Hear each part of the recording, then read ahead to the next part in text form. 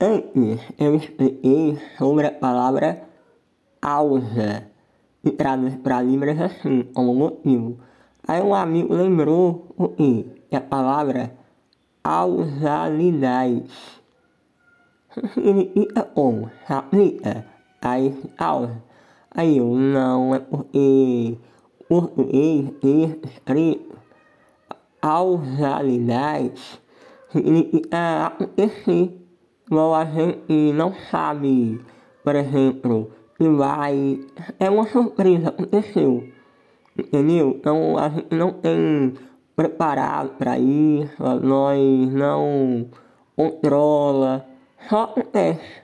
É causalidade. Por exemplo, hum, amanhã vai chover. Causalidade. Aí eu escola não ir porque transbordou o rio. Aí eu faltei. Desculpa, eu faltar. É a professora, não, é normal, acontece. É causalidade, não se preocupe, viu? Acontece, normal, é uma causalidade. Causalidade. Acontece. Upa, sua não, você vai controlar a sua. Pera aí, sua, vou na escola, aí quando eu voltar some. Não, não tem. Não acontece.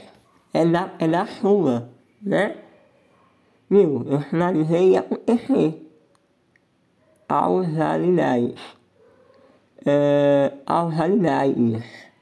Por exemplo, aí lá as pessoas elas meio assistiam o jogo de futebol. E aí estranho, o Brasil perdeu. Mas como? O Brasil é forte. Como o Brasil perdeu? Uma causalidade. A gente está só torcendo. A gente não controla, a gente não influencia nada é dele, é do jogo. Há uma causalidade, acontece. Benção, perde, causalidade. Entendeu? Então esse é o sinal.